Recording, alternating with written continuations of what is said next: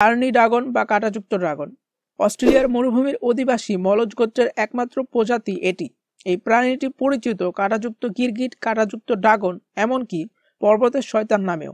ক্যামেলিয়নদের মতো এরাও নিজেদের শরীরের রং পরিবর্তন করতে পারে, তবে মরুভূমিতে থাকার কারণে এদের সাধারণত বাদামি রঙই বেশি চোখে পড়ে। এই প্রাণীটির সারা দেহ ঢাকা থাকে অসংখ্য শক্ত কাঁটা দিয়ে, যার কারণে অন্যান্য শিকারী প্রাণীরাও এদের খেতে চায় না।